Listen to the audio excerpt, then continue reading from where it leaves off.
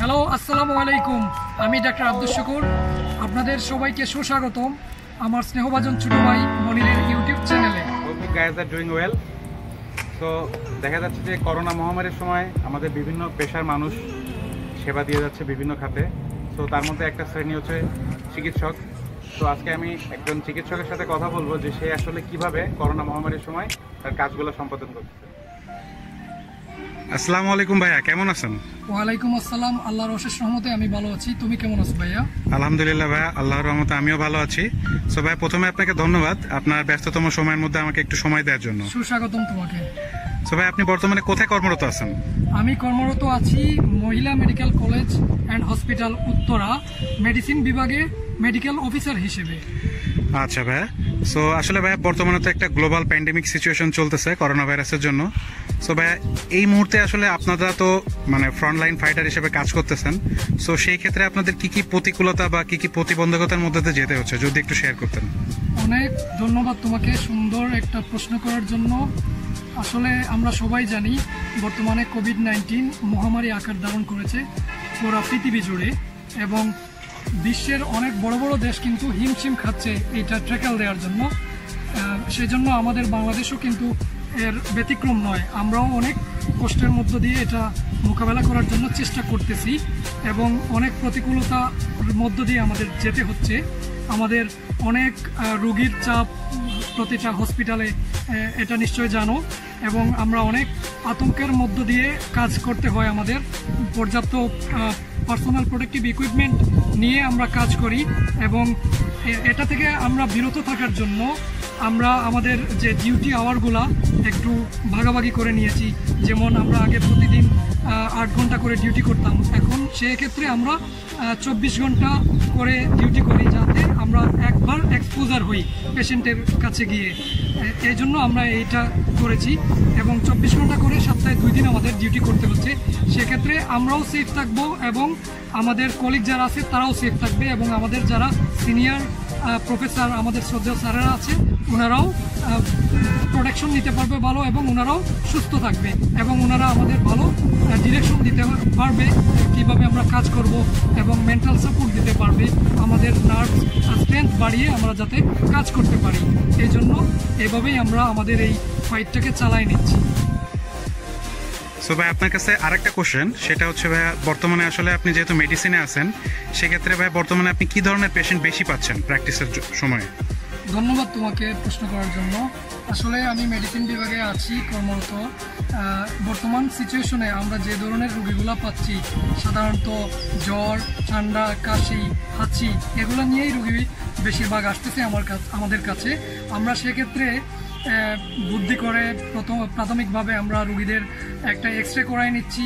নিয়ে তাকে দেখতেছি তার কোনো লাং এফেক্টেড হয়েছে কিনা, কোনো পালমোনারি ইডিমা হ্যাঁ পালমোনারি ইফিউশন এগুলা আছে কি না সেক্ষেত্রে আমরা একটু ডাউট থাকে যে যদি এগুলো প্রেজেন্ট থাকে তাহলে কোভিড হতে পারে। সেক্ষেত্রে আমরা তাকে আইসোলেশন ওয়ার্ডে রেখে দিচ্ছি, দিয়ে আমরা তাকে কোভিড নাইন্টিন টেস্টটা করাই নিচ্ছি, করাই নিয়ে তারপরে আমরা তাকে ফার্দার যে ট্রিটমেন্ট এগুলো দিচ্ছি। আর সেক্ষেত্রে আরেকটা জিনিস বলে রাখি, আমাদের হসপিটালে অন্যান্য রোগীরাও আসতেছে। তাদেরকে আমরা পৃথকভাবে চিকিৎসা দেওয়ার চেষ্টা করতেছি এবং আলাদা ওয়ার্ড আছে তাদের জন্য বরাদ্দ। ভাইয়া, ধন্যবাদ আপনাকে। সো সেক্ষেত্রে ভাই আরেকটা কোশ্চেন করতে চাচ্ছিলাম। যেহেতু ভাইয়া আপনাদের ডেইলি লাইফে দেখা যাচ্ছে যে সাসপেক্টেড করোনার পেশেন্ট থাকেই। সো সেই ক্ষেত্রে ভাইয়া তো একটা এক্সপোজারের হিস্ট্রি বা রিস্ক থেকে যায়। সো যদিও আসলে পিপি বা প্রপার যে গাইডলাইন বা প্রপার সেফটি সিকিউরিটি মেনেই পেশেন্ট দেখতেছেন, তারপরেও আসলে আপনাদের রিক্স তো থেকেই যায়। সো আসলে এই, এর মধ্যে কীভাবে এত মনোবল শক্ত করে কাজ করার সাহস পাচ্ছেন? আসলে ধন্যবাদ তোমাকে। আমাদের পার্সোনাল প্রোটেক্টিভ ইকুইপমেন্ট যদিও আমরা ব্যবহার করতেছি আসলে কতটুকু এটা আমাদেরকে প্রোটেকশন দিচ্ছে, আল্লাহ ভালো জানে। তারপরেও আমরা আমাদের সর্বোচ্চ দিয়ে আমাদের রুগীদের সেবা দিয়ে যাচ্ছি। সেক্ষেত্রে আমাদের শ্রদ্ধেয় স্যারেরা আমাদের পর্যাপ্ত মনোবল জুগিয়ে যাচ্ছেন। আমাদের পর্যাপ্ত ডিরেকশন দিচ্ছেন কীভাবে আমরা একটা কোভিড যদি সাসপেশন রোগী চলেই আসে, সেক্ষেত্রে তাকে আমরা কীভাবে ডিল করব? প্রপার গাইডলাইন ওনারা আমাদের দিয়ে যাচ্ছেন এবং সর্বস্ব দিক সর্বসময় দিচ্ছেন ওনারা আমাদেরকে। এবং এর বাইরেও কিন্তু আমাদের যে এফেক্টেড হওয়ার সুযোগটা থেকেই যায়। আসলে আমরা এখানে খুবই মানে কি বলব মর্মাহত। তারপরেও আমাদের মনোবল আমরা কিন্তু ভেঙ্গে দেই নাই।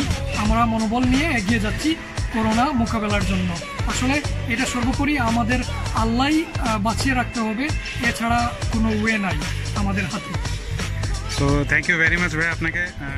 সো ভাই থ্যাংক ইউ লাস্টে আসলে ভাই, আমি জানতে চাচ্ছিলাম যদি সবার উদ্দেশ্যে আপনার কোনো সাজেশনস থাকতো যে তারা কীভাবে এই প্যান্ডমিক সিচুয়েশনটাকে আসলে মোকাবেলা করবে?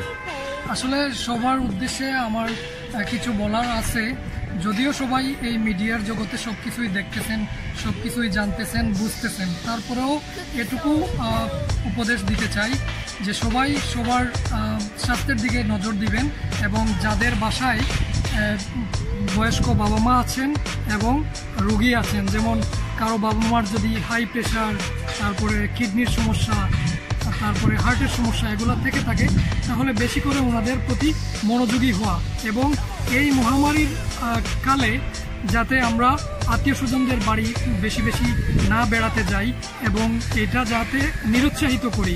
কারণ এই যে গত ঈদের মৌসুম গেল, এই মৌসুমেও দেখা গেছে অনেক আত্মীয় স্বজন কিন্তু চলে আসে। আসলে বলার, বলা যায় না তো ওইভাবে, তারপরেও চলে আসতে চায়। কিন্তু তারপরেও ওনাদেরও সচেতন করতে হবে, যাতে আমাদের বাড়িতে বাবা মা থাকে ওনারা বৃদ্ধ মানুষ ওনাদের অনেক রোগের রুগী হয় ওনারা এই জন্য এইটা আমাদের অ্যাওয়ারনেস ডেভেলপ করতে হবে, যাতে এই আত্মীয় স্বজন যাতে খুব বেশি আমাদের বাসায় চলে না আসে এবং সামনে আরেকটা ঈদ আছে, আসতেছে। এই এই ঈদেও যাতে ওনারা বেশি ঘন ঘন বাসায়, একে অন্যের বাসায় না যায়, না আসে। যদিও এটা আনসোশ্যাল মনে হবে কথাবার্তাগুলো, কিন্তু এটা আমাদের করতে হবে আমাদের সেফটির জন্য, আমাদের বেঁচে থাকার জন্য। আমরা যদি বেঁচে থাকি, তাহলে ভবিষ্যতে অনেক ঈদ আমরা করতে পারব। আর আরেকটা জিনিস হচ্ছে, এই মহামারী যে কোভিড নাইন্টিন এটা থেকে বাঁচার জন্য আমাদের প্রত্যেককে সোশ্যাল ডিস্টেন্স, এটা হচ্ছে আপনার তিন ফিট বলা হয়ে থাকে। তিন ফিট দূরত্বে থেকে আমরা চলাফেরা করি কারোর সাথে কথা বলতে হলে তিন ফিট দূরত্বে থেকে কথা বলি এবং আমরা পর্যাপ্ত মাস্ক ব্যবহার করি, হ্যান্ড গ্লাভস ইউজ করি। তারপরে বিশ মিনিট বিশ সেকেন্ড ধরে আমাদের হাত সাবান পানি দিয়ে দৌত করতে থাকি এবং যদি এটা না করা সম্ভব হয়, তাহলে আমরা অনেক ক্ষেত্রে দেখা গেছে বাইরে যাই বিভিন্ন কাজের জন্য, সেক্ষেত্রে আমরা হ্যান্ড স্যানিটাইজার ইউজ করতে পারি এবং আমি মনে করি এগুলাই হচ্ছে আমাদের সেফটির জন্য যথেষ্ট এবং এটা বারবার আমি বলব যে আমাদের তিনটা জিনিস, চোখ, কান, মুখ, এই তিনটা জিনিস ভালো মতো আমরা প্রোটেকশন যদি করে ফেলতে পারি, তাহলে অনেকটা আমরা সেফ থাকতে পারব কোভিড নাইন্টিন থেকে। এই মেসেজটা আমি সবাইকে দিচ্ছি এবং এটাই বলে আমি আমার এই বক্তব্য শেষ করতে চাচ্ছি। এবং ধন্যবাদ সবাইকে।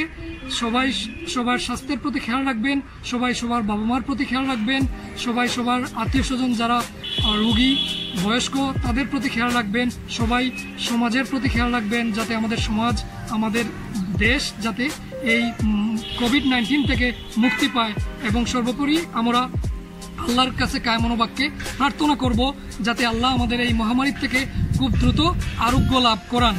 এটাই হচ্ছে আমাদের সবার চাওয়া থাকবে আমাদের আল্লাহর কাছে। ধন্যবাদ সবাইকে এবং সবাই আমাদের এই ছোটো ভাই স্নেহবাজন ছোটো ভাইয়ের চ্যানেলটি সাবস্ক্রাইব করবেন। থ্যাংক ইউ ভাই আপনার সময় দেওয়ার জন্য।